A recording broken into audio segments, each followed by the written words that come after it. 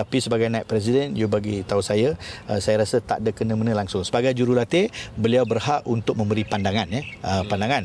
Dan uh, artikel ni kadang uh, jangan kita salah tafsir juga eh. Kadang benda kecil pun kita salah tafsir. Macam saya komen sekarang ni besok you kata oh saya langgar artikel you suruh saya letak jawatan. Jangan risau. Kalau kita tak deliver akan sampai masanya di mana kita pun kena bagi laluan pada orang lain Tegas subahan kenyataan Raja Gobal itu adalah sama sekali tidak melanggar artikel 88 Statut FM seperti yang didakwa akhbar tempatan pada Selasa. Namun Subahan berharap agar pengendali berusia 57 tahun itu tidak berselindung dengan kepincangan yang dialami skuad negara. Subahan sebelum itu mengadakan pertemuan dengan pemain-pemain negara bagi memberi kata-kata semangat menjelang aksi berdepan Yaman Jumaat ini.